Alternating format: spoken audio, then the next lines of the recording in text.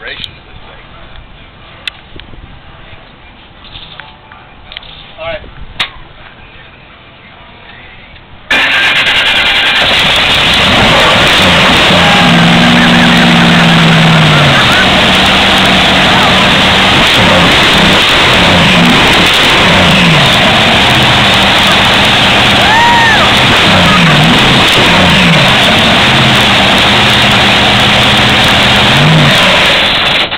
How's that? That's awesome. You gonna get one now?